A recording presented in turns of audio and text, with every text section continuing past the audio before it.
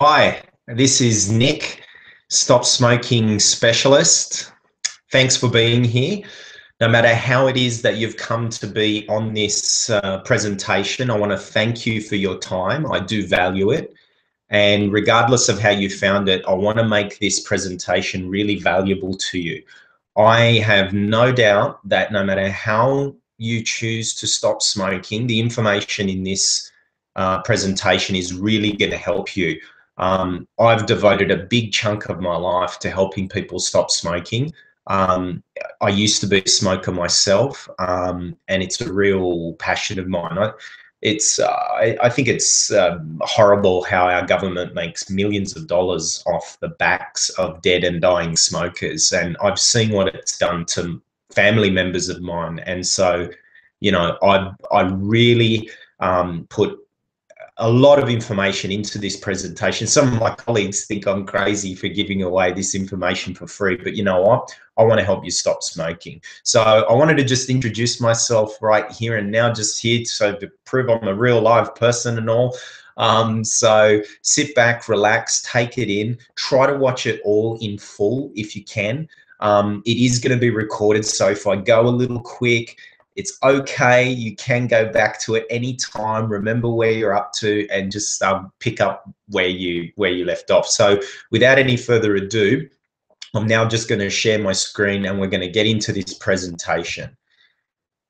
Okay, so so in this presentation, very quickly, what we're going to cover, I'm going to go through four steps to help you stop smoking permanently.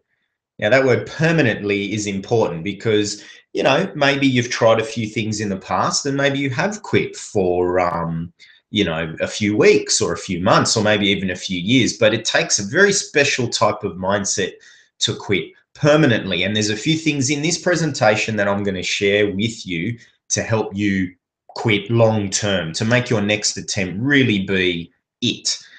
And then I'm going to share with you a new way to stop smoking. I want to share with you a new method, a way that really gets to the real root cause of why you're smoking. Because unless you address the root cause of why you're smoking, you're only ever really addressing the um, symptoms, not the actual cause.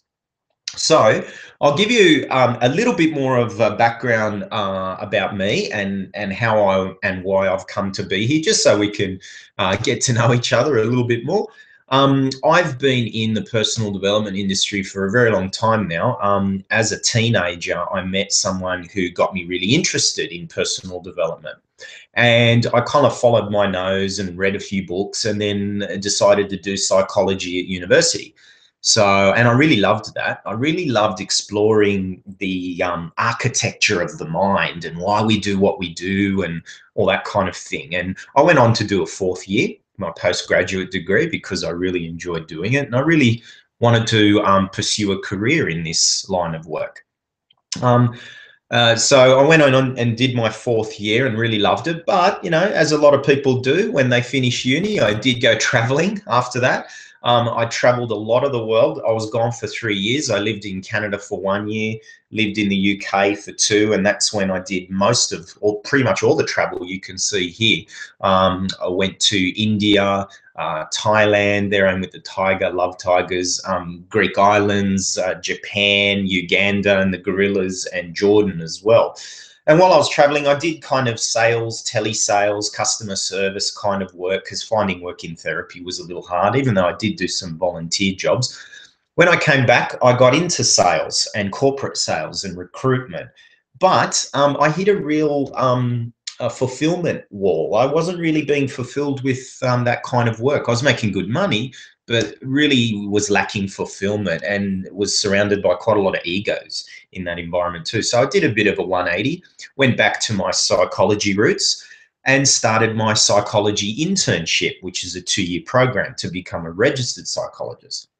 But only six months away from finishing that, I came across hypnotherapy and hypnosis and neuro linguistic programming. And I just loved the fact that it could get someone results in such a fast period of time. In one or two sessions, I realized I could get people results that some people are going to see psychologists for for years. So I actually left psychology. I left that form of um, therapy, which has its place, but I just wanted to get people results faster, quicker. So I, I did my hypnosis certification, NLP, and I haven't looked back. And since then, um, for the last eight years, I've been a hypnotherapist and I've helped a lot of people um, stop smoking. I've helped people with weight loss, food addictions, anxiety, and that kind of thing. So that's kind of me. But now let's look at smoking, shall we? Now, we already know that smoking is bad for us, right? You already know that. I'm not going to insult your intelligence, but maybe you didn't know a hard hitting fact that it's actually the most preventable cause of death in the world. Like, it's. It's pretty huge. A person dies every six seconds because of smoking. And research has shown that it cuts a person's life short by an average of 14 years. I mean, that is a lot of time. I mean, if you've got children, that are that age or older. Imagine missing 14 years of their life. I mean, it's pretty huge, you know, and it actually kills 50% of its users. So half the people that are smoking, if they smoke to the day they die, is a 50% chance that they'll die as a direct cause of smoking. And we all know that usually dying of smoking is not a quick thing. It's usually pretty slow, painful, and you're not the only one going through it so is everyone who loves and cares for you. So i mean these are some of the reasons why i'm so passionate about helping people quit. And now look i mean if money is one of your reasons for quitting i mean take a look at this. You might be interested. I mean if you've been smoking for about 20 years like many of my clients have uh, since 84 looking at this information i found on the new south wales retailers association depending on how many you smoke a day 5 10 15 20 25 or 30 this is pretty much the amount of money. This takes into account the price rise of cigarettes since 1984 and i mean if you're smoking a pack a day like most of my clients up till today you will have spent anywhere between 92 to 115 thousand dollars. I mean that's uh, that's pretty huge really I mean, I just think it's it's it's amazing that smokers are paying the tobacco companies and the government to slowly be poisoned by them. I mean, you know, it's it's ridiculous, and I'm here to help people gain back freedom and control from that. So let's have a look at these four steps, shall we? So four steps to stop smoking permanently. These are the four steps that we're going to go through right here and now. So the first step is to create compelling commitment because I mean you you probably know already that unless you're really committed to stop smoking, unless you're committed to the non-smoking um, life, chances are you're not going to quit long term. It's only going to be for a short time. Because I read a quote that was really cool about commitment and it was so relevant for smokers. I once read, Commitment is staying loyal to what you said you were going to do long after the mood you set it in has left you. I'll say that again. Commitment is staying loyal to what you said you were going to do long after the mood you set it in has left you. And isn't that really true? with quitting and smoking. You've probably quit in the past because something got you really committed for the moment. Really, you know, you were in a mood you know what I mean? Like, oh my God, they've gone up again. That's it. Forget it. I'm quitting. But then that mood that you said that slowly fades away. A stress happens. Something happens at work, an argument with your partner. You're out socializing, having a few drinks, and then oh, that mood has faded. And you go, oh, just a puff. One won't hurt. And then bang, you're smoking again. So there's a real kind of secret to getting really compelling commitment and that's exactly what you need when it comes to stop smoking. So i'm going to share with you some some things you can do to get some really compelling commitment. Because like i said unless you've got that first nothing's going to work for you. You're going to rely on the aid to do all the work and hope that there's some easy way out that takes away any effort on your part. But there's always effort that needs to be put in. I know i used to smoke myself and i know that at some point i just had to put in the effort. So that's the first thing we're going to go through Second thing I'm going to discuss is the difference between habit and addiction. So there is a very big difference between the two, and we're just going to kind of just have a look and just explore. Well, what what is what is this smoking thing really like? Is it really a drug addiction, or is it a habit, or a bit of both? And we're just going to explore that. Then I'm going to go through mindful habit breaking. So I'm going to share with you some um, techniques, uh, some simple things you can do to start breaking the habit of smoking.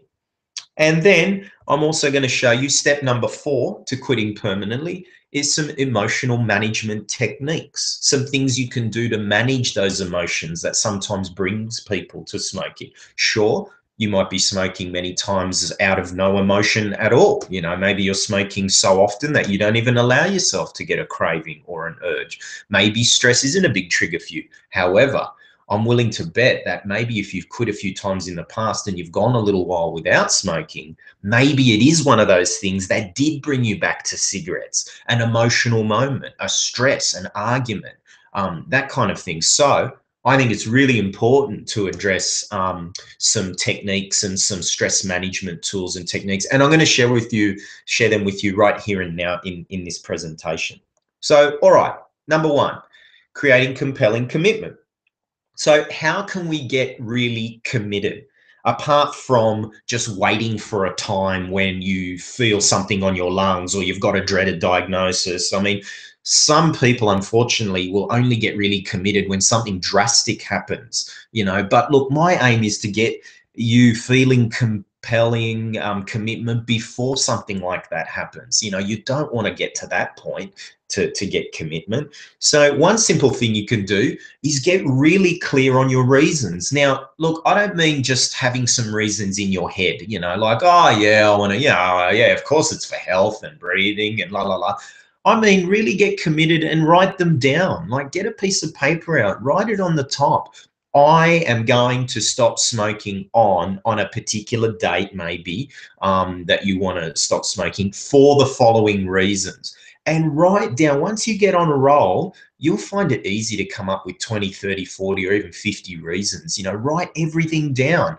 Um, i want to breathe better have more stamina and endurance so i can do more exercise and more exercise will mean i look better i might lose a few kilos and when that happens like make a story of it you know? That's what i mean by detailed multi-layered throw some emotion in it. When it's detailed, you're writing the story of your new non smoking life.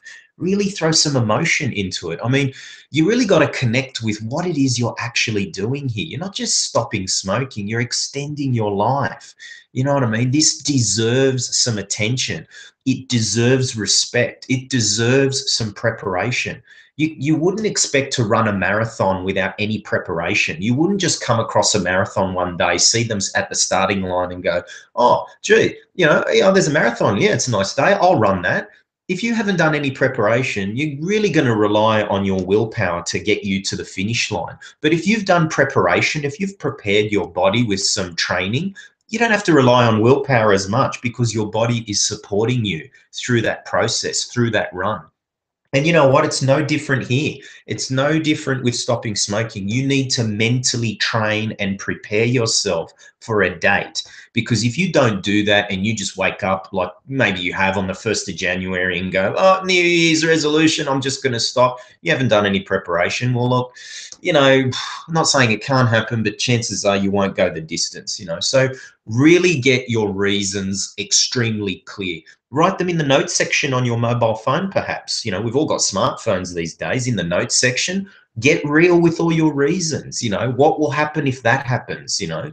That's an easy way to make your list longer. When you've got your list you can double it by going back to the first thing you wrote and wrote and write well if that happened what would be the natural follow on from that so if you wrote better health, for instance. What would happen if you had better health? Oh, well, I'd breathe easier. What would happen if that happened? I would do more exercise. What would happen if that happened? I would um, uh, look better. What would happen if that happened? I would, my self-esteem would go up. What would happen if I'd be more confident? What would that mean if that happened? Oh, I'd meet someone. I'd be a better partner, a parent, a, whatever. You know what I mean? I mean, seriously, uh, if anyone um, can't come up with 50 reasons to stop smoking, then I mean, you know, don't bother. really, you know, it really is pretty easy to come up with a lot of reasons when you think about it. And I mean, part of that process as well is make the benefits and the consequences as real as possible.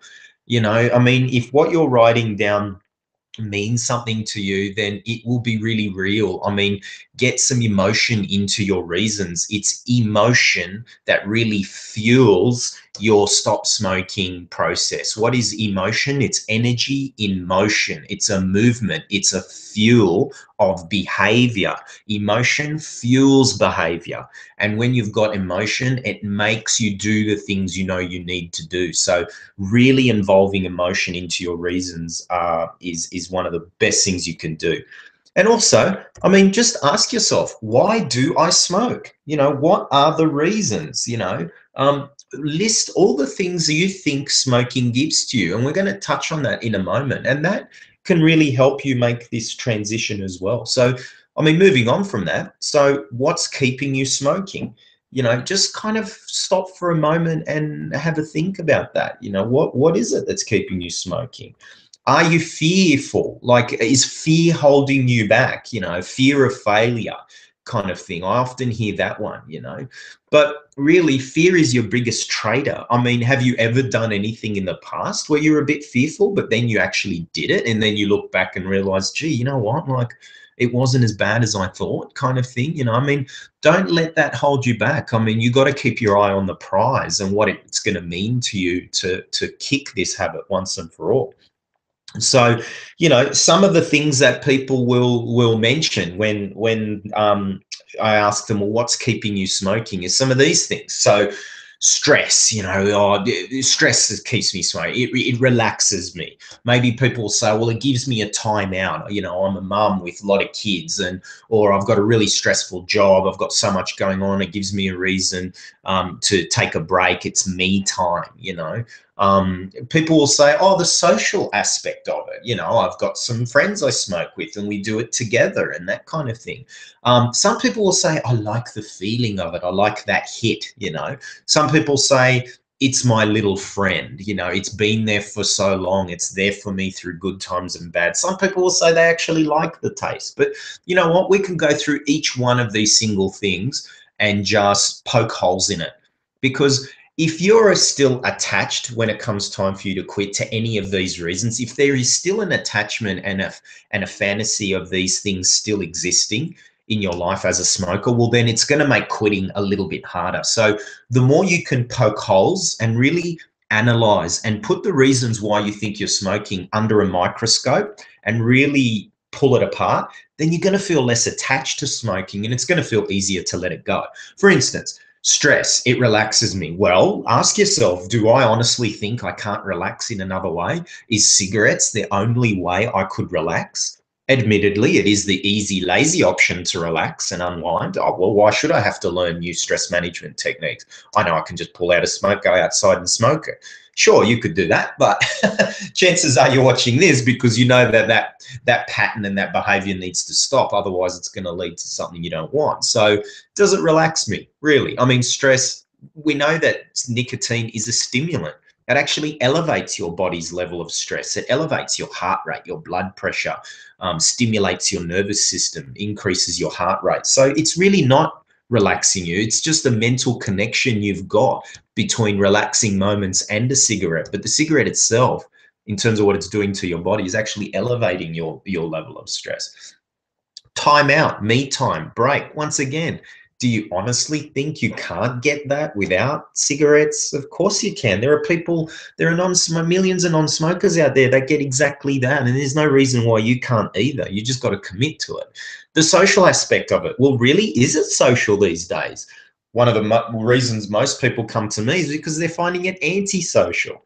It's like, oh, gee, you know, I'm the only one at a party that has to disappear, go down the alley around the corner, and I can't smoke here, I can't smoke there there's more and more restrictions coming in. You know, you can't smoke in this area, in that area. Now they're bringing out you can't smoke within four meters of a restaurant. I mean, how they're going to monitor that, I don't know. I mean, imagine a, uh, an inspector draw, oh, you look, you're four meters next. Uh, anyway, but my point is it's really getting antisocial and you probably know that um, you like the feeling of it the hit what is that? That's actually poisons running through your veins. You actually like the feeling of this poison affecting your body, ruining your body and, and poisoning you. I mean, really, really, you like that feeling? You know, I mean, sometimes I say to people, it's my little friend. I mean, really, does a friend really poison you? I mean, would you pay a quote friend to poison you? I mean, it might be there for you because you go to it during emotional moments, maybe. So anything you do or anything that's a go-to for a person when they might be feeling a certain feeling, it's normal that it can act as a kind of support. And when you think about it, isn't that why a lot of smokers um, will um, use cigarettes as a crutch? Because when you're feeling something, it's your go-to. So it is normal and natural that one can kind of have an association of, oh, it's my little friend. But at the end of the day, you know that this relationship is a toxic relationship. really, just like a, per- a person, when you break up from someone and person you've met, you know, you might have heard that that term, toxic relationship with people. Well, there's no better example of a toxic relationship than this one right here you know, when it comes to a breakup, you know that you've got a particular future that you really want. Let's say a future of a non-smoker, being healthy, living longer. But you know you're not going to get that if you continue this relationship. So you break up. And it's like a breakup, isn't it? You know, it really is. You know, uh, leaving cigarettes behind can definitely be like a breakup. But you know what? If you broke up from a person who was toxic, what do all your friends and support networks do? They get you focused on what your life is going to be like because of that breakup. So when you stop smoking, you got to do the same.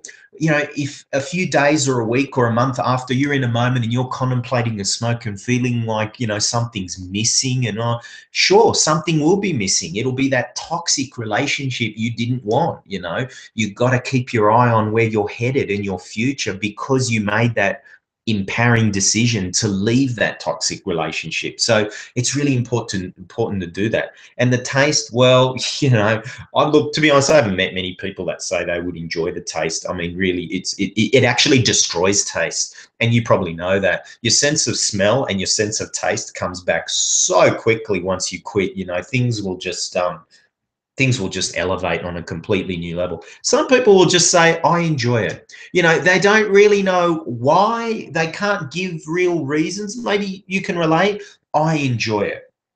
But here's a really interesting thing I'd like to do right now. Just, just um, if you're one of those people that still might say, oh, I still enjoy it, I'd like you to notice what you feel, what you notice when you see this. Have a look at that. You might have seen this um, three-year-old Filipino baby that's actually a chain smoker. Now, I'm sure right now there's something in you that is saying that is so wrong. I was almost going to put a video clip of this little guy.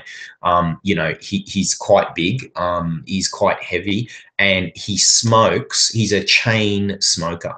Now, there's something in you that knows this is extremely wrong. You would never encourage a child, your child maybe, any child, to smoke. But why would you do it then? Why would you not encourage a child to smoke? Why is it that this disgusts you? Why is it that that this looks so wrong? Because you know deep down that it's a poisonous thing to do, that it ends life, that it kills people but why would you do it to yourself? You know, don't you deserve love and respect? Doesn't your own body deserve love, respect? You know, so just something to really think about. So now let's move on to point number two, which is the difference between habit versus drug addiction. Now, this is a really imperative distinction to make here and now. Why? Because what sounds more achievable? I'm going to break a habit I'm going to get off this addictive drug. I mean, it sounds a lot more doable when you say to yourself, I'm going to break a habit. I'm going to stop this habit rather than I'm a drug addict, you know. I mean, really, the pharmaceutical companies have invested millions and millions of dollars into a story which a lot of smokers um, have come to believe, which is the only reason you're smoking is because you're you're a drug addict. So if we can give your body this drug in a new way, rather than puffing on that cigarette, you'll quit. However, if that's true, then why aren't nicotine replacement therapies 100% effective? Why is that? Well, if this is true, Mr. Drug Company, Mr. Pharmaceutical, if if if why I'm smoking is because of this drug, well, why is it that when I slap a patch on my arm and I'm being fed nicotine, and mind you, mate, probably a lot more than you'd ever get from smoking, why is it that I still want a smoke? I still want a cigarette. Maybe you're a kind of person that's peeled it off and smoked anyway, or I've just had a cigarette. Or maybe, you know, um, you've thrown a patch on in the morning and then later on in the day you realize oh oh gee, my patch is gone. Oh it's fallen off. Oh my god i need a cigarette. Isn't that interesting? That maybe that shows smoking is more of a psychological thing than a biological thing but more about that in a minute you know? So i mean there's got to be more to it. Now i'm not saying obviously nicotine is not playing a role in smoking and keeping you smoking. Of course it is. But what i'm trying to get you to just consider and give some thought to is there's a heck of a lot more going on and there's a heck of a lot more that needs to be considered when it comes time for you to stop smoking. It's not just about feeding your body more nicotine. Chances are you've already done that. You've already gone there. It's old, been there, done that. I've used all those replacement therapies and nothing's changed. So it's time to think of a new way and it's time for a new approach. And I hope this this presentation can be part of your new approach. Also, the fact that secondhand smokers don't feel the need to rush out and start smoking. Think about that for a moment. If the chemicals in smoke are truly addictive to the human body, then anyone breathing that smoke in for long enough would eventually feel the huge urges, cravings, and desires to go out and smoke, wouldn't they? Because they've got the same chemicals in their body, obviously to a lesser degree, but they've still got those that smoke in their body and those chemicals back in the day when you used to be able to smoke in bars, restaurants, clubs, even offices. I mean, hey, it wasn't that long ago that you could be puffing away sitting right at your desk in a high rise, you know, even in hospitals. I mean, really, it's not that long ago. Now, if smoking was truly addictive, uh, uh, biologically addictive, and the nicotine was addictive, then anyone breathing in that smoke for long enough would eventually feel the need to, oh my God, I need to smoke. But no one does. No one starts smoking because they got huge cravings because of just breathing it in time and time again, you know. But here's the interesting thing a lot of people have contracted secondhand smoking related illnesses, but have never smoked a cigarette in their life. They've been around smokers. Maybe their partner used to smoke in bed. I've heard that before. You know, oh, my grandmother, my mother got a smoking related illness because granddad or dad used to smoke in bed um, and she just kept breathing it in and she got lung cancer or something. So, you know, there's a huge difference there. The chemicals are definitely bad for your body and can kill you, whether you're a smoker or not. But just having the smoke in your body doesn't force you and create cravings for a cigarette what's the difference? It's the psychology that the smoker has that the non smoker doesn't have. So, very, very big distinction there. Also, let's consider the real deal, shall we? Real drug addiction withdrawals are absolutely horrible. I've worked with drug addicts. I was a, a manager, a volunteer manager of a homeless shelter in the inner city of Sydney for four years, and I worked at a crisis accommodation where I saw real drug addicts and what they looked like, what they felt like, what they would go through. I mean, seriously, a true drug addiction, um, like heroin, cocaine, amphetamines, the body eventually gets so biologically dependent on those drugs that that person needs that drug in their body just to feel normal. I mean, any heroin addict will tell you after a certain point, it's not really about the high anymore. It's just about keeping away those horrible physical feelings they would get if they stopped. So their body is definitely addicted. And that's why they do require replacement therapies. For instance, a heroin addict needs methadone because methadone tricks the body into making it think it's got that drug. And then the person can wean down bit by bit while they work on their social and psychological structures as well, because that's a huge transition to make. Maybe you know people that have gone through that kind of thing. It's, it's really full on.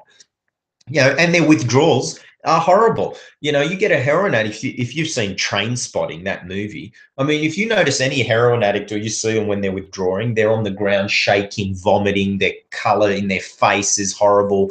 I mean, they can't sleep for more than an hour. Their physical cravings will wake them up repeatedly through the night. I mean, tell me what smoker goes through that when they stop smoking? Not nothing like that. You might get moody, irritable, cranky, passive aggressive, that kind of stuff, but you don't you don't physically lose it. You don't you, you can still drive a car, send an email, make a phone call. You know, it's it's really minimal when you look at true drug addiction. And also look at pregnant women and newborn babies. If you've got a heroin um, uh, ad- addicted mother or woman who's addicted to heroin, cocaine, or amphetamines, whether they're pregnant or not, they won't stop. Whereas you probably know many women, maybe you yourself, when you fell pregnant or when you heard of someone falling pregnant, boom, they just quit, just like that. And they'll tell you it was easy, really easy. Whereas no heroin addict has ever quit just because, oh, I'm pregnant. Oh, I better stop injecting heroin in my arm. No, and when those true drug addicted women have their babies, their babies are already addicted to that drug on their birth. They're a mess. Whereas even if women smoke cigarettes right up to the day they give birth, their baby is relatively okay. I mean, yeah, sure, there's a risk factor for size, um, color, uh, that kind of thing, but it's a risk factor. It's not a guarantee. 20, 30, 40 years ago, when it wasn't as so horrible to smoke, many women were smoking. Many women gave birth to babies who who who smoked. Maybe your mum smoked when when she was pregnant with you. You know, I mean, and you turned out okay. And babies are generally fine, but when a woman is really addicted to a drug, you know, uh, that baby has no chance. It's not a risk factor; it's a guarantee. Now, look, I want to be clear. I'm not saying that smoking is not addictive I'm not saying that at all. But what I am saying is that smoking is mainly a psychological dependency, not a physical one. And there are so many examples of how smoking is more in the mind than the body. Here's one perfect example for you. What about when people go and fly? and they take a flight for hours. I mean, maybe you yourself notice that. Maybe when you're outside the airport waiting to take your flight, you're waiting to walk in, you're puffing away like crazy. But as soon as you walk in that airport, something in your mind goes, click, that's it. I can't smoke. It's just not possible. And you're fine. You deal with the flight. You're okay.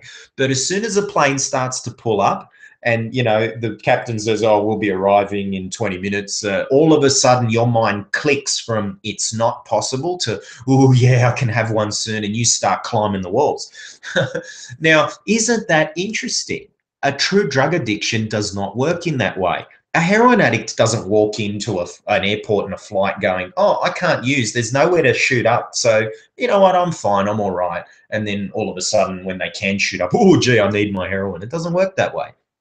This shows what this is, is simple proof of the power of your mind over your body, mind and body connection. When you walk into that airport, you have a conviction of thought, which is, I cannot smoke. It's just not possible. So, what happens? Your brain produces the signature biochemical chemistry that corresponds to that type of thinking. We know from depression studies and research that thinking affects brain chemistry, which in turn affects the way you feel. And then you're, you're eventually feeling what you're thinking. It's a bit of a loop it's a bit of a cycle. So when you've got a thought of I can't smoke. I'm not, I just, it's not possible. Your brain sends that chemistry to the cells of your body and boom, you feel fine. But as soon as your mind changes for, to, oh, I can smoke soon, your brain starts producing that kind of chemistry and then boom, it feeds it to your cells and all of a sudden, oh my God, I need to smoke kind of thing. Don't you think that's interesting? Very much so. So, what is smoking then really? What is it more? It is a habit a habit which you do which is basically the repetition of an action. How do you define a habit? That's exactly what it is. It's an action that you do again and again and again and again and again and again and again right? So i mean just look at that uh, alone that finger action. I mean sometimes part of the struggle in quitting is just doing something with your fingers. You're so used to having that there as a little comfort and you know you do it again and again and Think about it. you know, if you're smoking, say, like most of my clients, 20, 25 cigarettes a day, and it takes roughly 10 draws to finish a cigarette, how many times are you bringing your fingers to your lips? Just think about it. You know, 10 draws a cigarette, uh, one uh, in one cigarette, 200 to 250 or even 300 times a day, you're doing that action, fingers to lips, fingers to lips, fingers to lips. So, of course, you know, the drug companies will tell you, oh, when you stop smoking and you get moody, irritable, irritable and cranky and all that, it's because you're withdrawing from a drug. You're a drug addict. But hello, think about it. If you were doing an action with your hands so often for 20 years and you try to stop that all of a sudden, cold turkey, of course you're going to get a little uh, irritable, a little, a little, oh, what am I going to do with my hands? A bit uh, kind of thing, right? So you need to address that, obviously, you know. But there's also another thing that makes people um, experience that moodiness, irritability, and that kind of thing. I'll, I'll share that with you in a little bit. So, at this point, hopefully, unless you already were sold on it before, by this point, you're probably in an agreement that, yeah, look, yeah, there's something happening on biological level. Sure, nicotine um, has an effect, but you know what? It is mostly a psychological thing, and it's just this habit that I need to break. So let's move on to step number three mindful habit breaking. Now, some of these things you might have heard that may, might not rock your world, you know, but if you do, even if you learn one or two things here that you could do differently in your next attempt, then, you know, it'll have been worth it. So, all right, here's a couple of things you can do to mindfully start breaking this habit of smoking. Make a list of the ones you think you really need.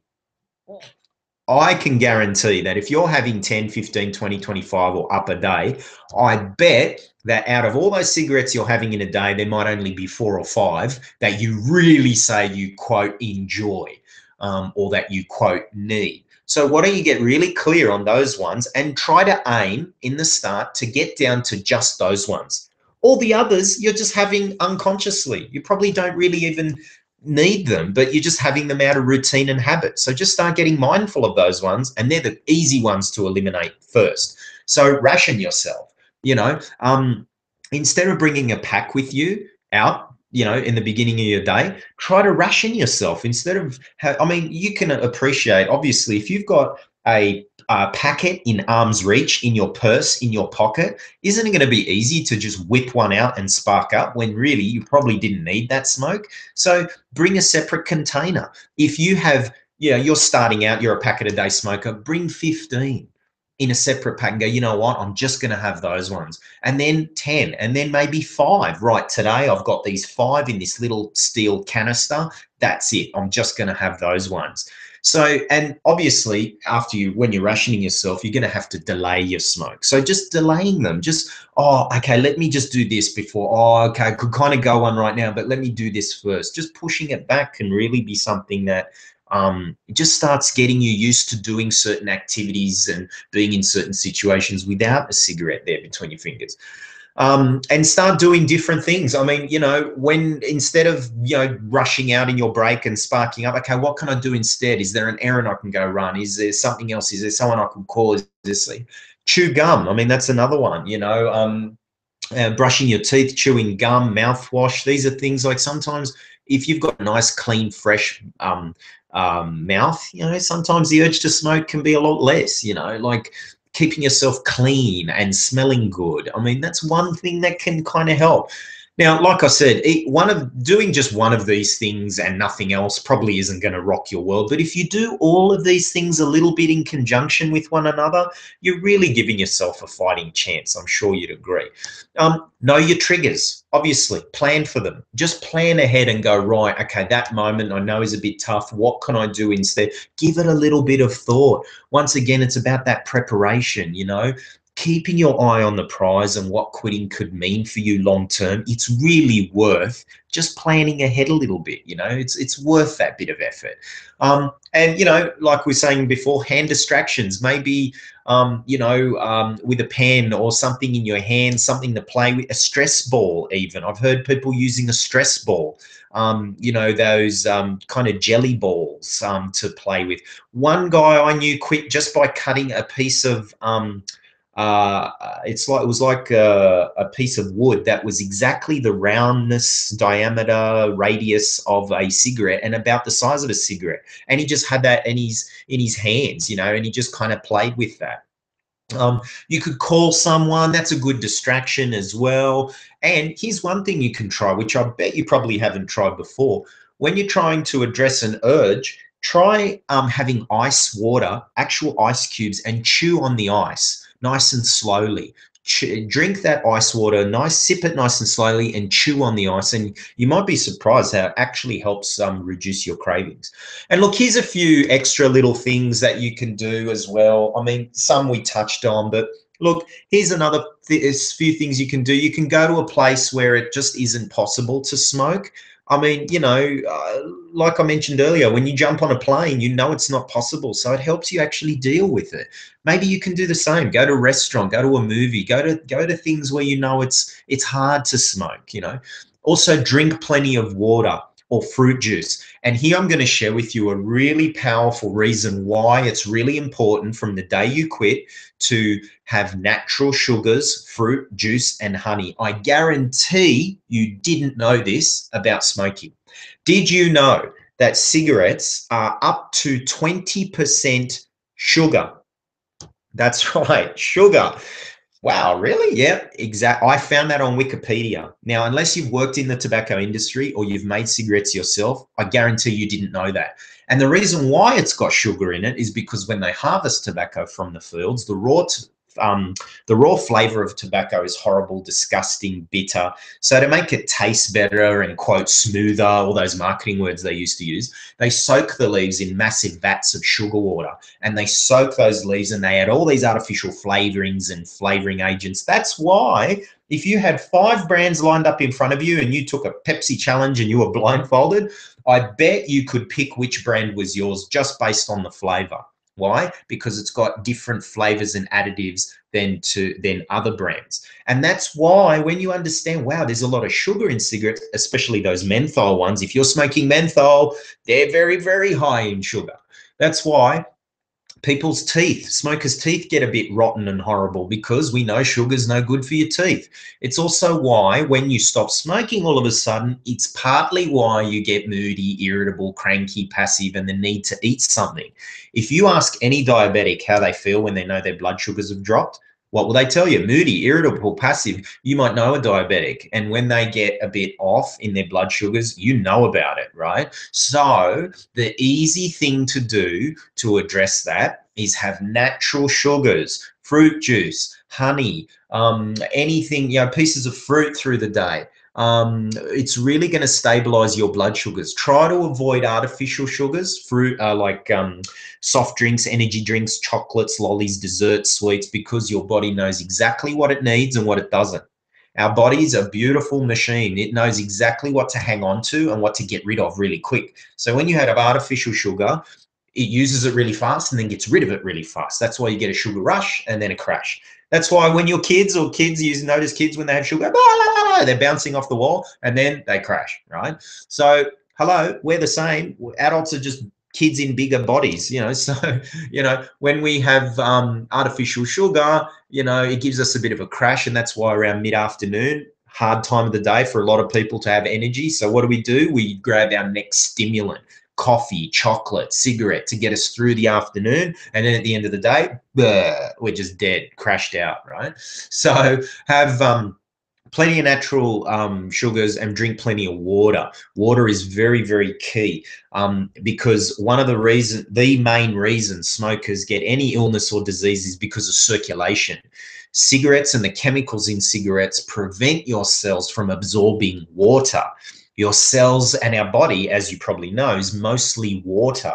So um, when your cells are prevented from absorbing water, as the chemicals in cigarettes do, it limits your circulation. The nutrients from your food and beverages do not get around your body. And these days, the catchphrase is you are what you absorb. It used to be you are what you eat. But now we're realizing that unless we facilitate our cells to absorb all that great food and drink that we're having, then it's pointless. We need to absorb nutrients, not just eat them. you know so that's why you know juicing lemon detox diet that was all really good stuff to help absorption of um, of um, good food and and healthy eating also, one thing I can definitely um, recommend you do when from the moment you stop, which will really help you quit, is um, eating raw macadamias mixed with good organic licorice. Why? Because nuts are naturally high in a oil that is very good for the brain. If you put um, nuts, particularly macadamias, in a brown paper bag, you'll see that it actually stains the bag because it's very oily. This oil is fantastic for the brain. Um, all nuts are, but macadamias in particular when you mix it with licorice, it creates almost like a kind of nicotine withdrawing. Um, it, it, fights the nicotine withdrawals. Licorice is a really good natural way to suppress um, sugar cravings as well. So mix those two things up. I know some people don't really like licorice. I'm not a huge fan of it myself, but when you mix it with macadamias, it is a little bit more palatable. Um, keep it on your desk. You know, same with water if you are sitting at a desk um, through the day, you're in a place where you're pretty sedentary, um, then keep water around you. Water is one of those things out of sight, out of mind, you know. Um, and you can just nibble on those raw macadamias and licorice through the day as well. So, you know, the other things you can see here eat well, obviously, exercise, which is really good for mind, body, and spirit as well. Go outside, that middle box there, you know, I mean, getting some sun you know this uh, sun they found in uh, so much research with depression and stuff that getting outside can make a real difference you know taking some deep breaths there, chewing sugar free, gum sugar free, very important for the reason I just mentioned. So it keeps your mouth a bit active and busy.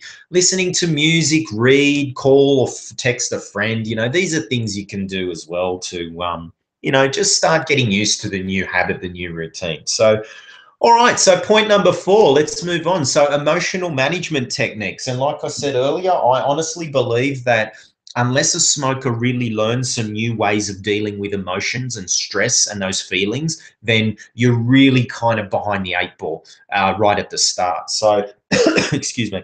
Um, so let's have a look at some, shall we? So breathing, obviously, you know, when things hit the fan and you're stressed and you're about to rush out and, you know, light up a smoke because you're feeling what you're feeling, really just take some deep breaths.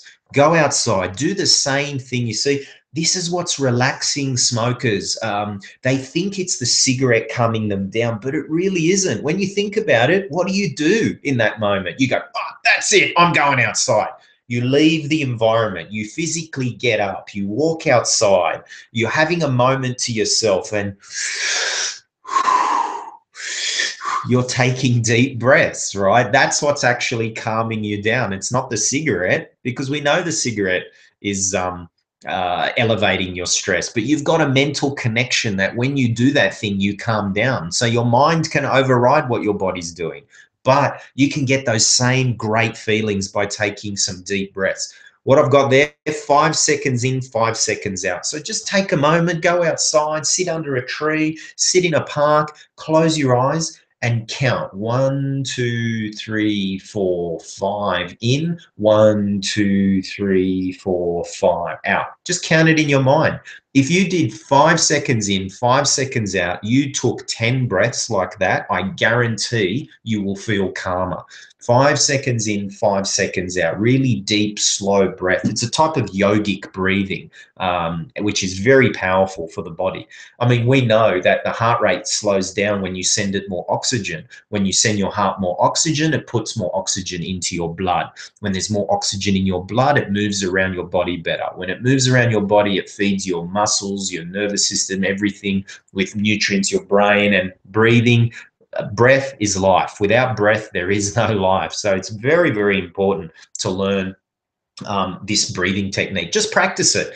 Practice it. Please make yourself just just um, you know uh, make a make an effort with yourself to just do this simple breathing technique. I'm guarantee sometimes it's the simplest things that just make the biggest difference. It'll make a huge difference. Here's another technique I want to share with you. Something I used to share with my clients who used to have anxiety when I used to help them. 333 technique. So what is it?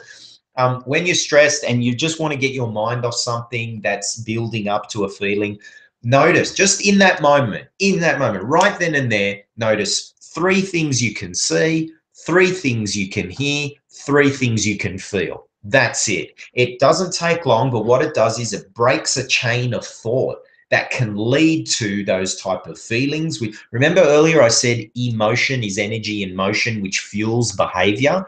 That all starts with thought, a thought and thinking. If you start entertaining a train of thought, it's going to eventually lead to feelings, which will eventually fuel behavior or inactivity. Procrastination is another behavior. Doing nothing is doing something, right? So um, 333 will help you break a chain of thought that can lead to something you'd rather not do, or it can lead to something you really want to do. So, three things I can see, and you just do it exactly from where you're sitting. You know, I can see a tree, I can see a car, I can see a baby. Uh, three things I can hear. I can hear a bird to the left up in that tree. I can hear a bus passing by. I can hear uh, a copier in the background. Like, you know, I'm just saying, for example. And three things you can feel. I can feel my shoes in my feet, my butt on this chair, and I can feel um, the collar around my neck from this shirt. You know, just keep focusing. And if, you know, if it hasn't done the trick for you, just do it again. Just notice, see, hear, feel. Um, even extend it to smell three things i can taste. Or it's about you know what it really is doing at the end of the day? It's getting you really present. That's what it's doing. And really many of us are not present. Really think about how often your mind is either in the past or in the future. Just have a think about that. Like it is pretty profound. Right now where is your mind mostly? In that moment. It's you know we often are either contemplating the past, what we could have, should have done, and whatever, or anticipating something in the future. And here's the interesting thing every moment in the past and the future was a moment of now now. It's just a bunch of now moments. And it's one way we can really lose lose out on life. Life can just pass us by when we're in the past and the future. We never appreciate the moment. Getting in the moment is a very powerful thing that you can do for yourself, for your life, for, for everyone, really. So um, very powerful also just taking a break you know like i've mentioned already go outside you know um, just walking around the block you know when if something's happened at work and you're a bit stressed or something like that you know can really make a big difference you know also just listening to some beautiful music classical music something you know listen to i mean now we've really got no excuse. We've got smartphones we've got devices that really can give us things instantly. I mean imagine 20 years ago what people did to get entertained or break habits. You know now we've really got no excuses. You know you can go and sit outside you can youtube you can write into youtube rainforest sounds the sounds of the jungle water running, the sounds of the ocean. Like you can put pull up on your phone instantly any sound or music that you know when you listen to that, you feel good. You know what they are. And it's just a matter of having a think about that. Get creative. Um, listen to something that can really calm you down. Music is a type of medicine that I honestly think some medications can't do. Um, but music, really, it's food for the soul. Um, or you can watch something inspirational. You know what I mean? There are some really cool YouTube's uh, clips. Um, if you type in inspirational video, like people who really achieved something, people who had a certain mindset of success, you know, like get curious, follow some people that you look up to, you know, listen to interviews with people you really respect or look up to, whether that's Donald Trump or the Dalai Lama or whoever, you know what I mean? Like type in anyone's name and then interview, and I'm sure that person um, will be on YouTube. It's a great thing to watch or learn meditation. You know i've been meditating for half my life pretty much every day and really it's it's an amazing technology. It's a technique you know. It's not linked to any kind of um, you know philosophy. Uh, meditation is a vehicle. It's a vehicle that can go wherever you choose. Just like a holden commodore or a ford falcon is a vehicle. There are different vehicles to get to a destination now, most human beings want a destination of fulfillment, joy, um, you know, contentment, happiness. We are all trying to use vehicles to get there. some of us use the vehicle of a career. Some of us use vehicle of money. Some of us use the vehicle of family, of children. You know what? There is one vehicle that you can use, which is meditation and going within. I don't think it's a uh, coincidence that a lot of the ancient masters on the planet said to us to go within, to go inside. All those things I just mentioned, hey, all good. Hey, I want career, family, money, and all that, but they are transient. You know, sometimes we wonder why happiness doesn't stick around when we invest most of our happiness in things that don't last.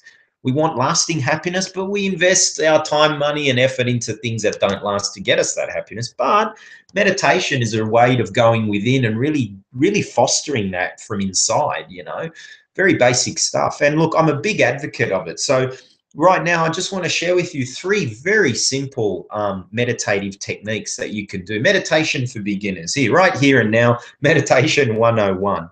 The first one I want to share with you is a candle process. Very, very easy.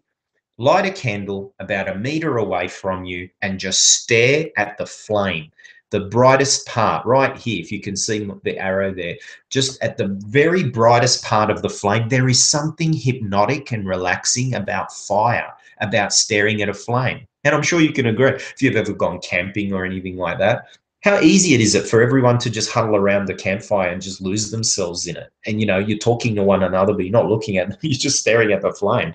There is something really relaxing about it. Light a candle stare at the flame and then if you want five seconds in, five seconds out, the breathing that I just shared with you earlier, do that while staring at the flame. Um, and you know, the flame acts as a visual anchor. The moment your mind starts to wander is the moment you can bring it straight back to attention to that flame. Really powerful. It's actually the way I started my meditation practice years ago. And you know what? I still use it to this day. It's very powerful, very, very powerful. So please try that. Very, very easy to do. If you're having problems sleeping at night, maybe put the uh, tea candle near your bedside and with your head on the pillow, lying sideways, stare at the flame. And then when you feel like you're nodding off, one breath, poof, and just blow it out and go to sleep. Um, yeah, unless you want to leave the flame burning all night, maybe not a great idea, but you know, up to you. the next process I want to um, uh, share with you is a heart-centered breath heart centered um, breathing. Now, this is very powerful because um, the heart, we're starting to understand. I follow a type of science. It's from the HeartMath Institute. If you were to Google that, the HeartMath Institute, you'll see some amazing science that they're doing focused around the heart. We've come to realize now that the heart is more than just a pump to pump blood around your body. It's actually like a little brain because you may not know that the heart actually has 40,000 sensory neurons, neurotransmitters, and it has um, support cells and proteins just like the cranial brain, just like the, the real brain um, in our head. So it actually qualifies as a mini brain. It's amazing the heart actually emits an electromagnetic field as well. And this electromagnetic field that our heart emits can actually be detected by certain apparatus several feet away. And other human beings can actually sense that, whether they realize it or not, maybe even on an unconscious level. It's very powerful science. It might sound like woo woo, but woo woo is only science we don't understand yet. And we're now understanding more and more about the heart. Did you know the heart actually sends more information to the brain than the brain sends to the heart? So, I mean, what what's this means is that anytime you can get your heart in a coherent rhythm, it actually helps the brain make better decisions. It fosters creativity, um, problem solving. So that's why when we calm our hearts down, we're actually doing so much more to the body and the brain than just calming down. It has an amazing effect. The electromagnetic frequency of the heart can be um, uh, influenced just by heart centered breath. And here's a very simple way to do that. You simply sit down nice and comfortably, close your eyes, focus on your heart space, and breathe into it. Uh, once again, maybe that five seconds in, five seconds out. Visualize your heart expanding as you breathe in, contracting as you breathe out. Expanding on the in breath, contracting on the out breath. Expanding on the in breath. Just nice, slow, deep breath and your heart expanding and contracting. And then you bring to mind a time when you felt love, gratitude, appreciation, a really beautiful, positive feeling, maybe a beautiful moment, a time you were being recognized, a time you were overseas, a time you were in the arms of someone you loved.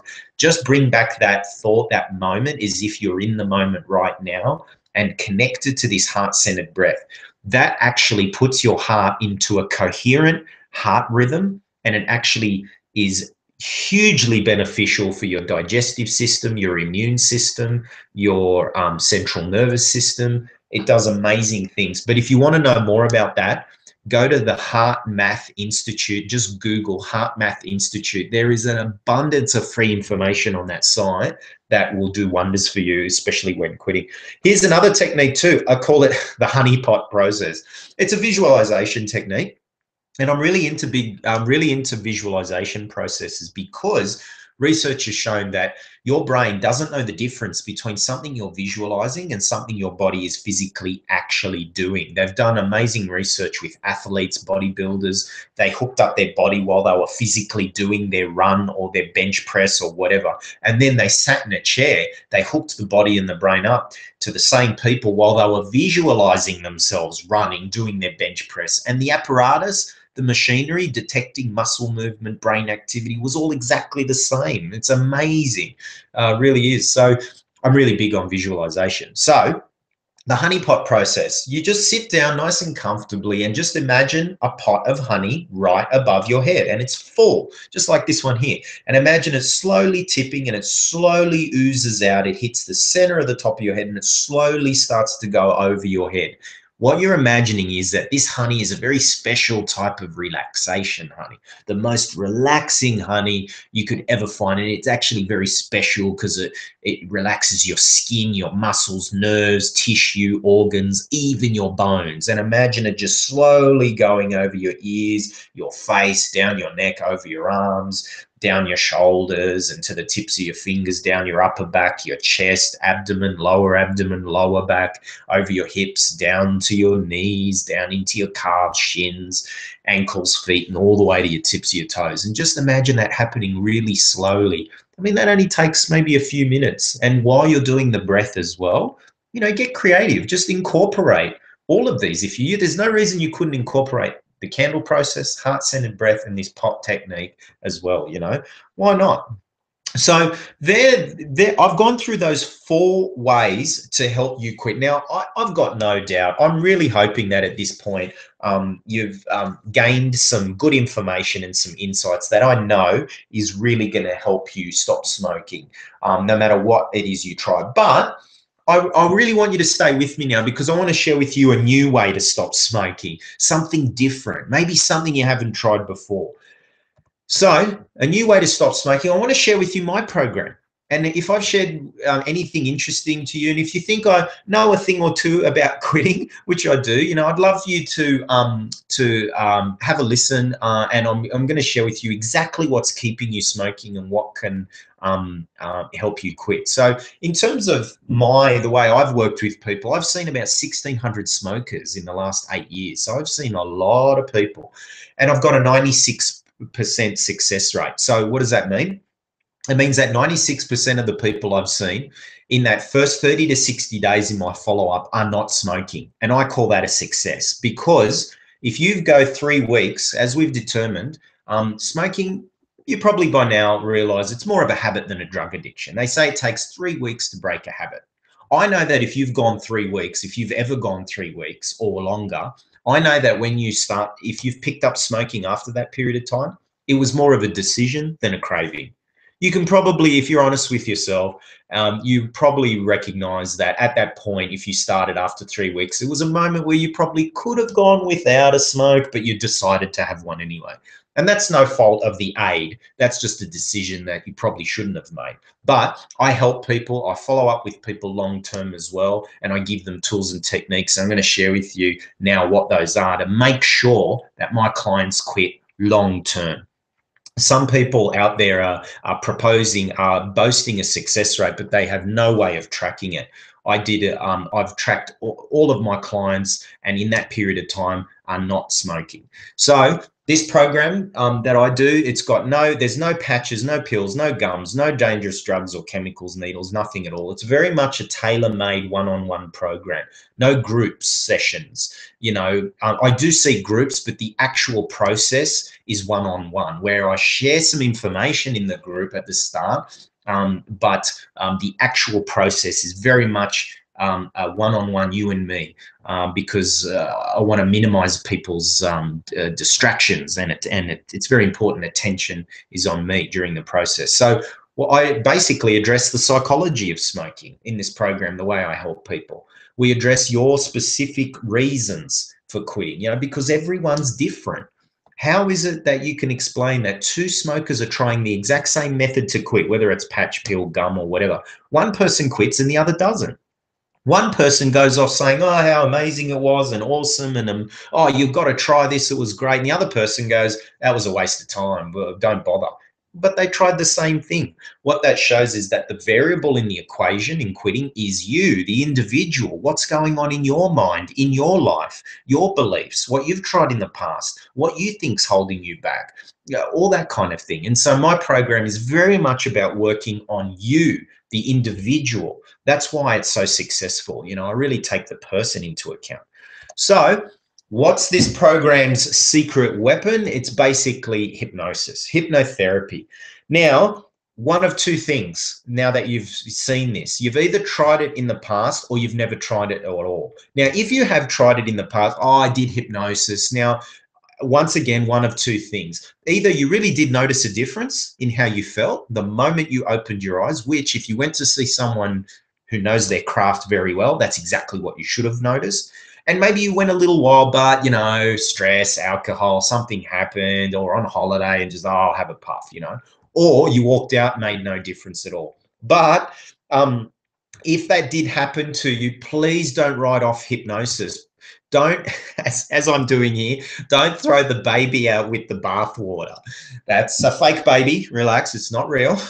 That's me and there's a little tub there. Because look here's the thing. Hypnosis is powerful but not all hypnotherapists are. I want to repeat that. Hypnosis is powerful but not all hypnotherapists are that's what I mean by don't throw the baby out with the bathwater. Just because you might have tried a certain kind of therapeutic modality and it might not have given you the success, it doesn't mean that the modality itself is pointless. It's just like, you know, if I go to a physio and I've got a sore back or a chiro and I go in for a few sessions and I've still got a sore back and um, you know then I wouldn't say chiropractic medicine is useless physiotherapy is a waste of time you know it's like if I've got anxiety or depression I go see a psychologist I wouldn't then and I'm still anxious or depressed six months later I wouldn't say psychotherapy is useless you know, there's a lot of other things going on. You know, maybe you weren't really ready yet, you weren't really committed. Maybe there's always a reason, you know.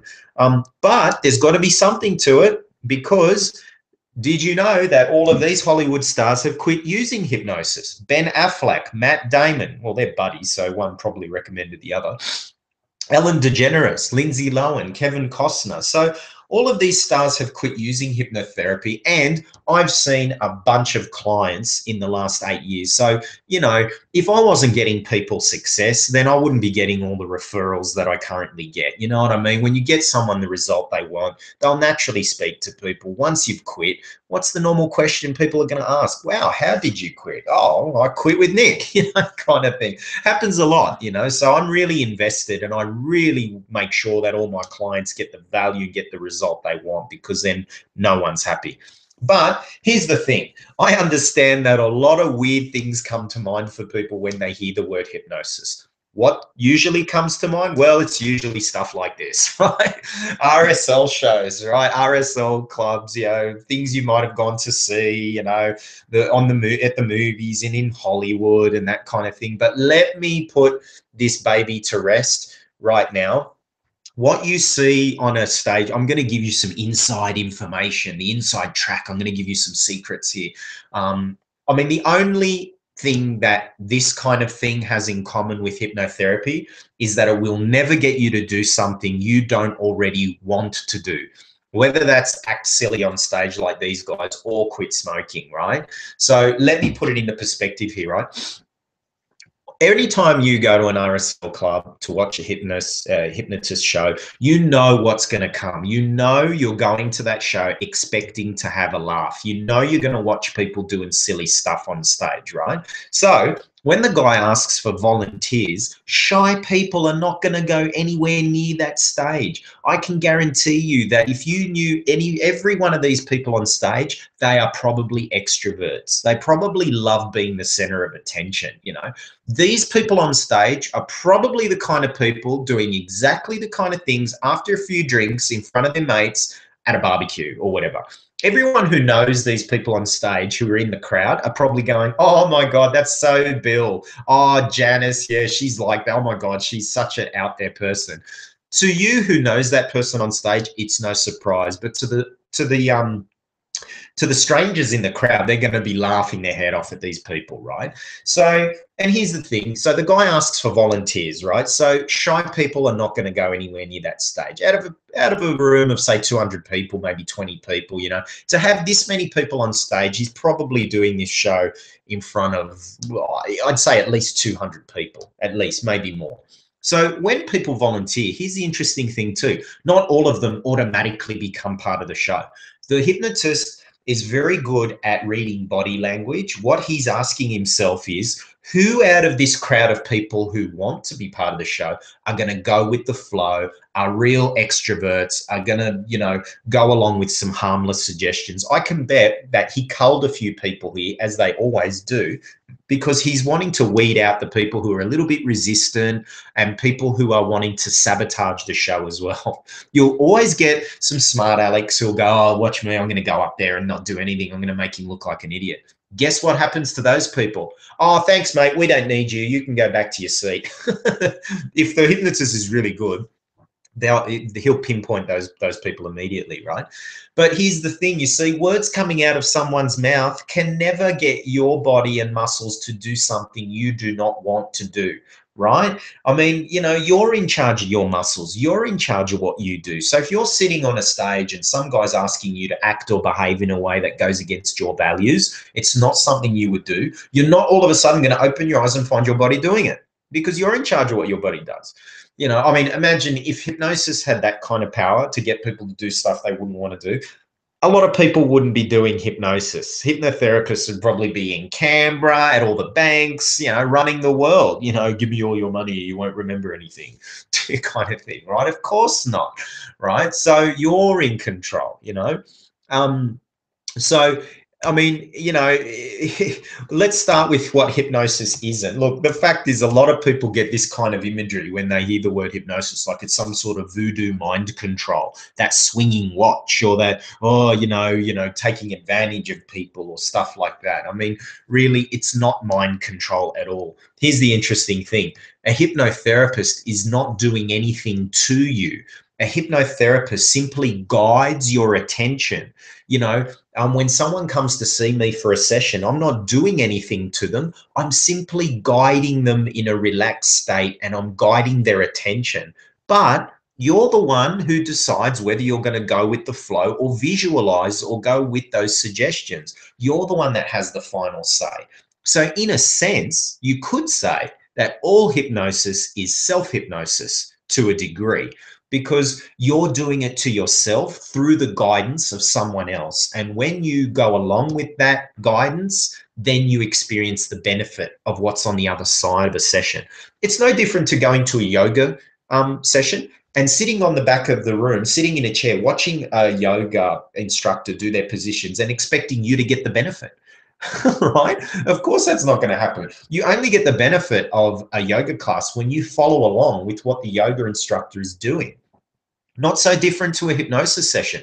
You're only going to get the um, the uh, benefit by following along with what's being said. You know, so you kind of do it to yourself. You know, in that sense. You know. So, you know, your muscles do what you um, uh, tell them to do. Obviously, you know, that you don't get stuck in hypnosis. Some people think they fall asleep, wake up, and not remember anything. No, you don't fall asleep at all. When you fall asleep, you're actually unconscious. So, how can your unconscious? I mean, there's no way of me being able to communicate with your unconscious if if I had a client that falls asleep. You're very much aware in the room it feels like a very normal, natural state, a state that you actually experience quite often through the day. At any moment, people could open their eyes, get up, and walk out. You know, like there's nothing.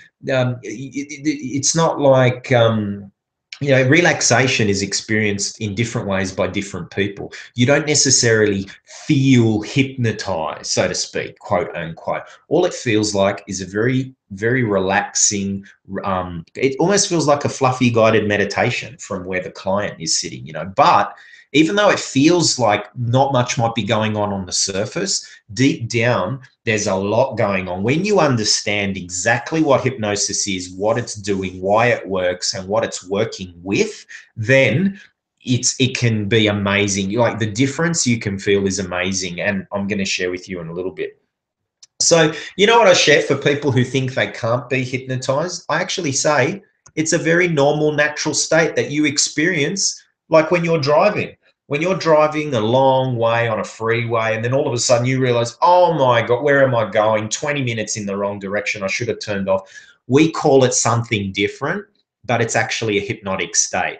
What you say, though, you don't say, oh, sorry, I was in a hypnotic trance. You say, I was in the zone, I zoned out, I tuned out, I was a million miles away, lights are on, no one's home. These are all states that we naturally experience through the day, which is actually a hypnotic state. Another example when we experience that is when we're watching TV. The TV is the most powerful hypnotic tool on the planet. You know, we zone out, we zo- we're zombies in front of the TV, you know, really.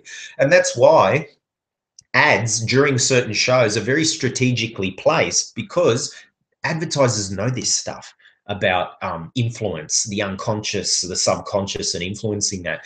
It's no um, it's no accident at all that when you're watching a show, the ads will be related to what you're watching. So if you're watching MasterChef, oh, lo and behold, Coles and Woolies and oh, pots and pans are for sale, and oh, Harvey Norman's um, special on um, you know mixes and whatever. You know, I mean that's that's done for a reason because we're naturally in a suggestibility state when we're watching TV. We're in a very relaxed, wakeful state. And you know what? It's even subtle, more subtle than that one time I remember, I'll never forget this because this is how subtle that we can be influenced um, when we're in front of a TV. I was watching Casino Royale, that James Bond movie that I'm, you know, you've probably heard of. It was on TV.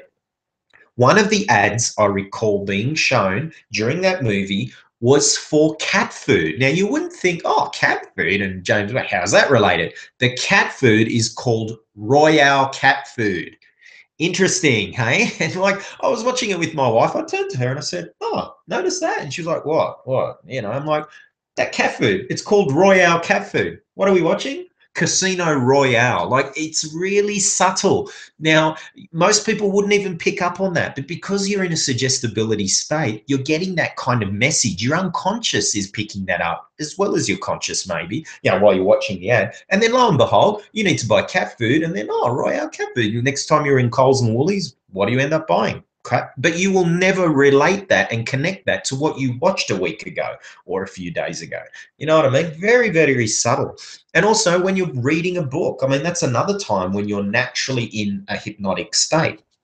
The hypnotic state is nothing other than your ten- attention being drawn and you're focused in such a way that another part of you naturally joins um, the joins the table kind of thing. Like when you're driving along, you know, you'll get to your end destination. You don't even realize how you got there, but you just kind of got there. But both parts of you are there at the same time, your conscious and your unconscious mind. Because when you're driving along, if someone were to step out in front of you while you're in that state, you don't just boop, boop, boop, run them over. You snap out of it and you're like, oh, so it's like you're always on guard. You can always react if you really need to, but it's that autopilot part of you that can take over when you're in that nice, relaxed state.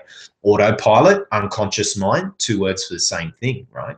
I'll get into that in a little bit. So, you know that's what that's where that watch um, thing came into. It's like you know you could use anything. You could use a pen. You could use anything to get someone to but you know pocket watches were just something that they could easily swing back then. So when your focus is on something then you drift into this state you know? That's where that kind of thing came from. But Look, let me share with you a little bit more about what's actually going on so you understand more about your unconscious mind and how it works and why hypnosis can be a really effective tool for you to stop smoking. Sure, you can stop smoking with the information I've given you already, and I'm sure some of you will watching this, but there is a way to make it feel so much easier. This is an aid at the end of the day. What is an aid? It's aiding your commitment. So, and it's supposed to make it feel a lot easier. I have no doubt, simply because I've seen so many people over so many years, that hypnosis can make it feel so much easier for you. But you can obviously quit without it and with the tools I've given you. But I want to give you an understanding of hypnosis. That way, at least you know what it's about and you're informed. So if you ever do want to use it in the future, you know exactly what it is and how it works. So to give you more of a bit of the science behind what it is, here's a a simple graph that shows you um, the four distinct brainwave frequencies that we have, right? So right now we're in the beta state, the top one, right? So it's um, you know, you we're awake, where yeah, it's that normal alertness, consciousness, you know, very alert, very aware. Then there's the alpha state. Anytime you're in a relaxed, calm, lucid, not really thinking too much, you're zoning out, you're in that alpha brainwave state, right?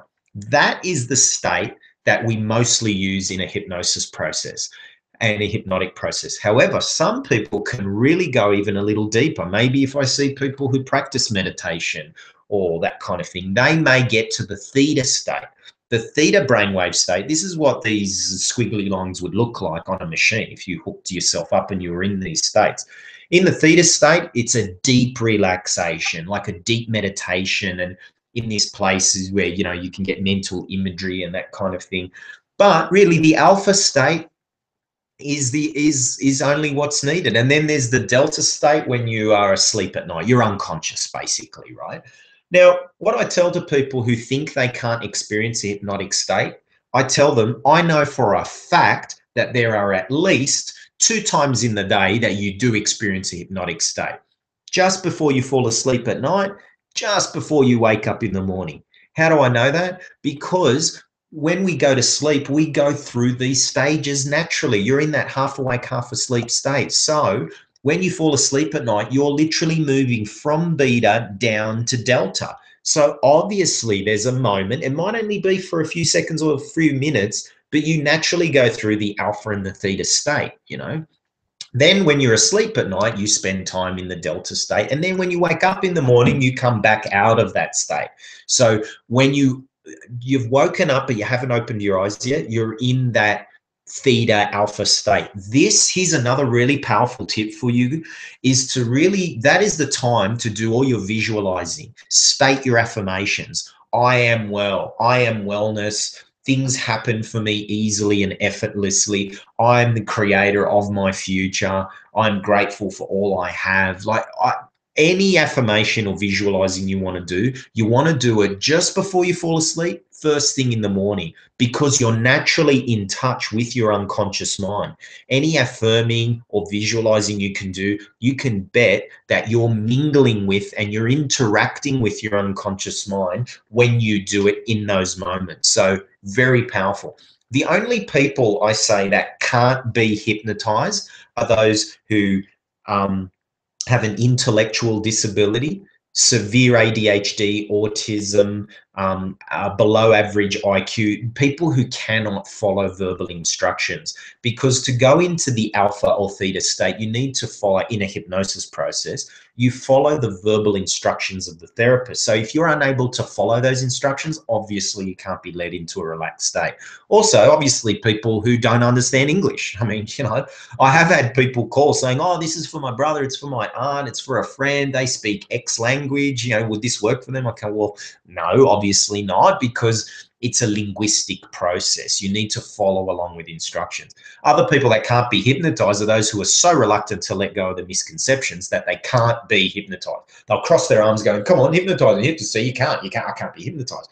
Because they've got some misconceptions that they think it's for weak-minded people or that it's for some, it's some voodoo mind control.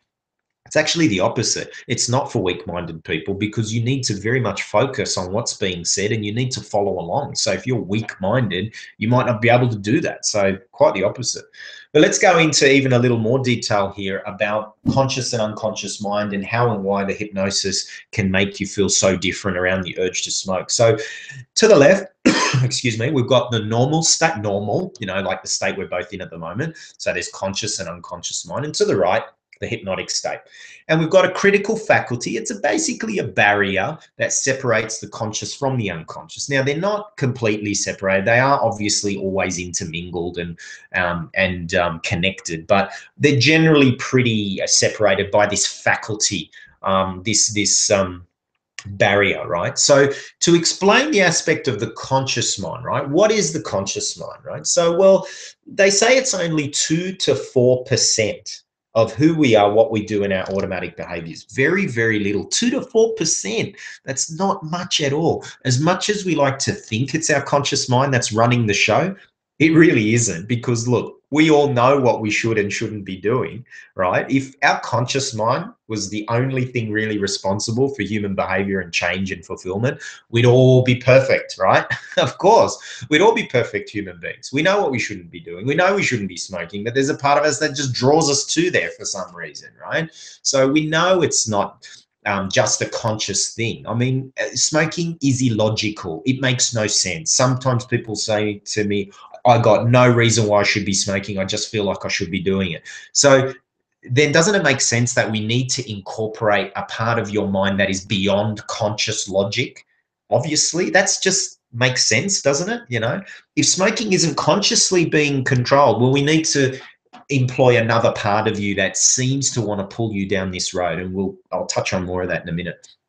The conscious mind is what we're in right now. It's what you're, it's that frontal lobe, decision making, how to get from A to B in your car. It's, it tracks time as well. You know, if you right now, I had a, um, you know, I asked you how long has it been since the start of this um, um, presentation, you'd probably get pretty close because there's, you're in that conscious state, which pretty much tracks time. It lives in time.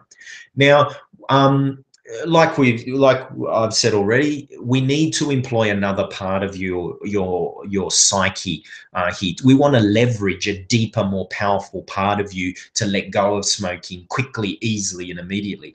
And the unconscious mind is what is used in a hypnosis process. So, what's the unconscious mind? The unconscious mind has basically two main functions in your life. One is to make your life easier, and the other is protection physical and emotional. Now, it makes your life easier by driving your automatic pilot. Everything you do in a day that you no longer have, a, have to give a moment's thought to is being taken care of by something. What's that something? It's your automatic pilot, it's your unconscious mind.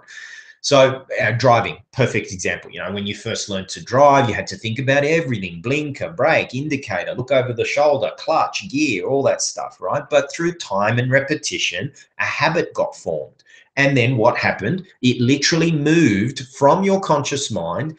A program was created and it got filed in your unconscious. And that driving program gets triggered maybe the moment you unlock your car, the moment you put the key in the door, the moment you unlock it, the moment your bum hits the driver's seat. There's a particular moment you're not aware of that is a trigger moment that draws to the draws up the file of driving a car and you just drive a car. But that file, that program had to be created, right? And we run our lives like that. The unconscious mind is a filing process. It's a library of programs that the conscious mind, the two to 4%, you can consider that like really expensive real estate. The conscious mind only has stuff up there that's really relevant for the here and now that needs to be focused on. Anything that doesn't really need to be there, that, that habit and automatic pilot can take over, just gets filed to the unconscious mind and brought up when it needs to be, right? So makes your life easier. The other function of your unconscious mind is protection, physical and emotional. So physically, if you touched a hot stove, you accidentally hit your finger with a hammer, a ball comes flying to your face, you have instant unconscious automatic reactions, right? You don't have to think about it because your unconscious mind is there to protect your body in this world. If we didn't have that faculty there, we'd probably be dead by now. We wouldn't have certain reactions. We wouldn't have that sort of um, that, that feeling to stay safe in the world, that reaction, right? So you don't have to think about that. It happens automatically, right? But it also has an emotional protection element. Here's the real interesting thing, right? About smoking. When you first started to smoke, maybe as a teenager, when you had your very first few puffs of a cigarette, chances are on a conscious level, it was a pretty horrible um, experience, right? Like, ah, this is crap, ah, cough, cough. Yeah, it stinks. It's burning my nose, my finger, blah, blah, blah. Tastes disgusting. But on a deeper emotional, unconscious level, you were saying ex exactly the opposite. Look at me, aren't I cool? I'm tough. I'm a rebel. I look older. I'm part of the crowd. I'm part. I'm one of the boys. I'm one of the girls. All that kind of stuff, right? So here's the interesting thing. In that moment, your unconscious mind came across and knew what they call an SEE, a significant emotional event. And it had one very simple, quick decision to make. And it's doing this all the time, particularly in our early years. It had to ask itself, is this good or bad? Yes or no? Should I keep this up or not? Well, I'm getting all these good emotional feelings. This smoking thing must be a good thing. So click, it made that connection and it's hung on to it for the rest of your life until you can get it listening to a new story right? So here's the thing you actually tricked your unconscious mind into thinking that smoking was a good protective thing for you. Because your unconscious mind seeks protection and safety all the time.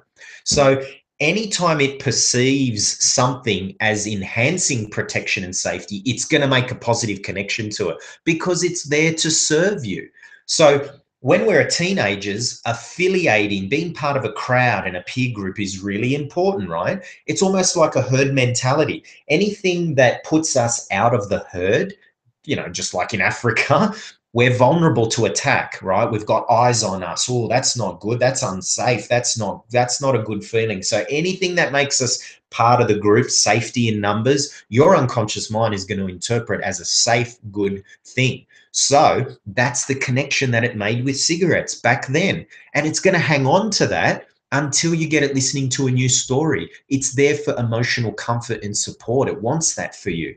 Maybe that's why when smokers have an emotional moment, once they've quit, maybe, or maybe even when they're smoking, they go back to cigarettes because deep down on an unconscious level, there's a safety net. There's a yes, come here. Yes, this is protective, part of the crowd. Yeah, that kind of thing, you know. So, what do we do in hypnosis? All we do is we fade away that critical faculty. What we do is we guide you into a very relaxed state where both here on the right, the hypnotic state, the conscious and unconscious are both present at the same time. You don't know the moment your unconscious becomes present but it just does. Just like you don't know the moment you zone out while you're driving. You don't know the moment you zone out when you're watching TV. You don't know the moment you zone out when you're reading a book. Similar thing. When you're in a hypnotic state, I take my time to guide people in a very deep, relaxed state. And the unconscious naturally becomes present, just like in that um, in the, the hypnotic state, in that circle, in that uh, ball to the right. Here's another really interesting way to put it, right? So imagine that it's like you're conscious and unconscious because when it when someone has decided to stop smoking it's like there's an internal tug of war going on. Isn't that right? Can't you relate? Where it's like part of you let's say your conscious mind wants to stop smoking. You know it's bad for you it's costing you money it's killing you it's making you stink and antisocial. But the fact that there's this urge going on pulling you in another direction let's say it's your unconscious mind here like this guy it's like it's pulling you in another direction. However, think about this logically. There's no part of your mind, conscious or otherwise, that wants you dead, right?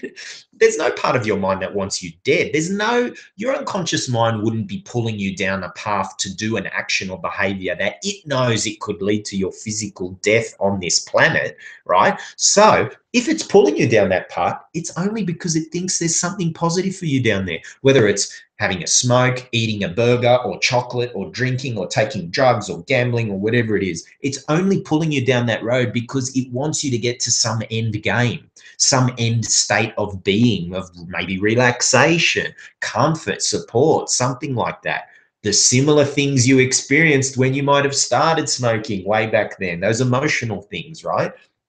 So when the unconscious mind, when this guy here on the right gets the new message, what we're basically saying to that part in a hypnosis process, we want to bring in alignment.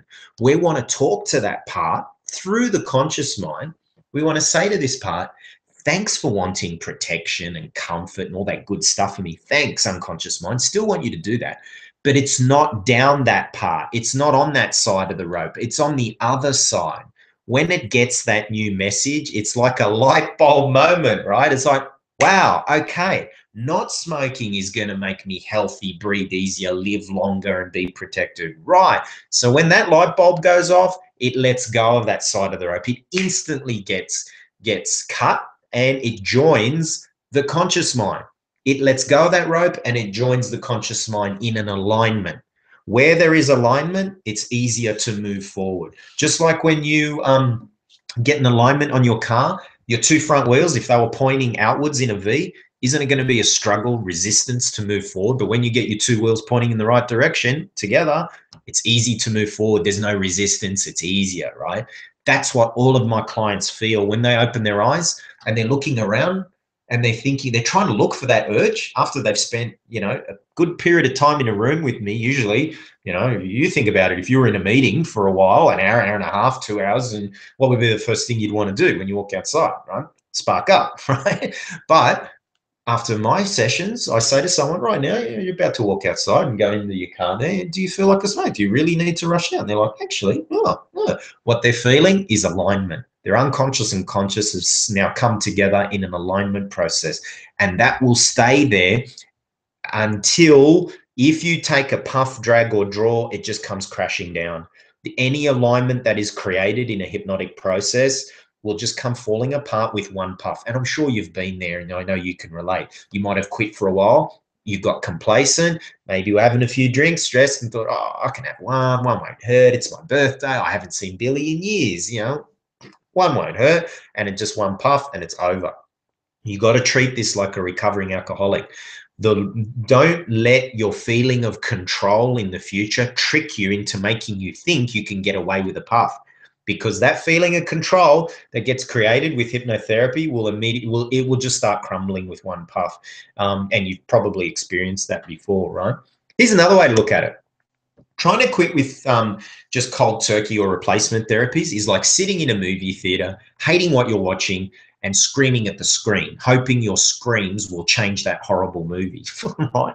We know that's not going to happen because we know that what we're experiencing on that screen is not coming from the screen. It's coming from behind you in the real, in that in the in the projector room. So hypnosis is like going to the projector room changing the reels so you experience something different. And there's something profound about that. The reel, the projector is your mind.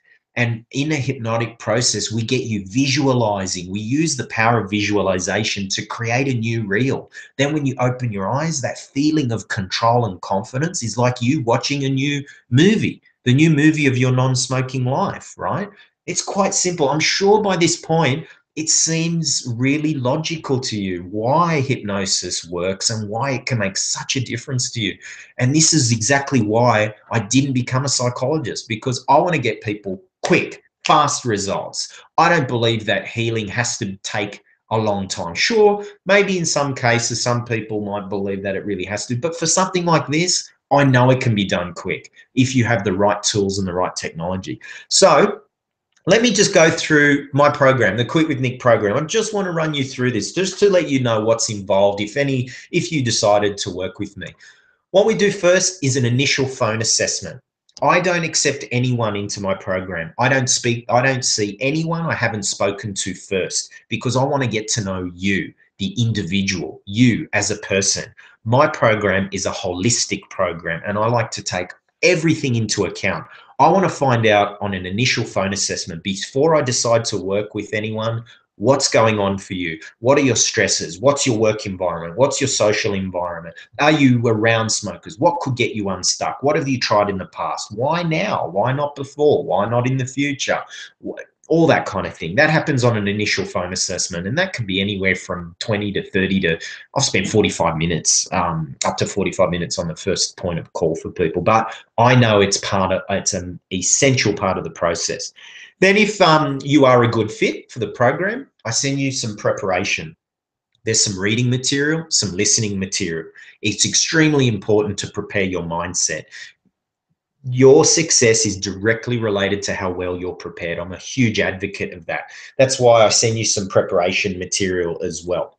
Then we do the actual session. It's called a rapid change therapy session, basically, where I incorporate everything that I've learned over 15 years of study, research, seminars, courses. I've probably spent $150,000 on courses and, and books and research, all about what makes us do what we do, what's what makes us change, the science uh, of human behavior and success, basically. And I'm weaving all of that in. Everything that I am and everything that I've done is weaved into that session to make you feel different when you walk out.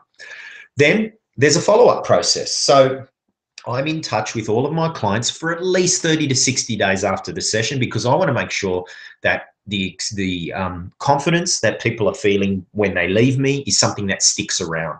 I want to make sure that it's not something that lasts for just a few hours or a few weeks, but at least that point where I know a habit has been broken. You need to address the craving for a cigarette, then a habit needs to fade away. Habits can only fade away when a certain period of time has passed. Habit, because you've got memory, you remember doing stuff. So a habit isn't going to disappear in a moment, but the craving to do the action that is reinforcing the habit can disappear really quickly. So I've got a very close follow up um, process, and you get a bunch of support materials as well. Those support materials are MP3 hypnosis downloads you can listen to directly on your phone.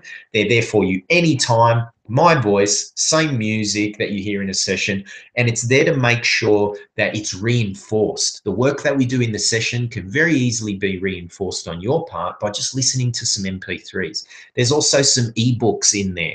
There's uh, really there's so many support materials. I can't even go through them all right now, but I will mention the ebook because let's face it, your mind is going through a transition when you make the change from smoker to non smoker, but so is your body. So it needs to be supported as well. There's a bunch of things in there to support your body making the change so the detox process happens faster, smoother, and doesn't affect you as much.